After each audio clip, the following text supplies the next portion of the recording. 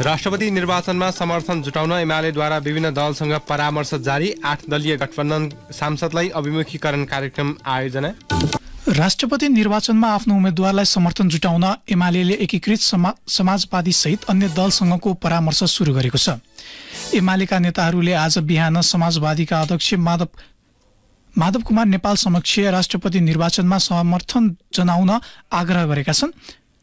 राष्ट्रपतिमा समर्थन जनाउन समाजवादी यसअघि एमाले गरेको पत्राचारप्रति सकारात्मक नबनेपछि एमाले नेताहरू भेटघाटका लागि पुगेका हुन्। सो भेटपछि पार्टीका उपमहासचिव पृथ्वी सुब्बा गुरुङले भेटवार्ता सकारात्मक बनेको बताउनु भएको छ। यसैबीच एमाले आजै राष्ट्रिय स्वतन्त्र पार्टी रासोपाका नेतासँग भेट गरेको छ। त्यस्तै राष्ट्रिय प्रजातन्त्र पार्टी राप्रपासँग पनि भेटेर राष्ट्रपति निर्वाचनमा सघाउन आग्रह गर्ने भएको छ। हिजो एमाले अध्यक्ष केपी शर्मा ओली र राष्ट्रिय एकता अभियानका अध्यक्ष एवं एमाले पार्टी त्याग गरेका नेता वामदेव गौतम बीच भेट भएको थियो।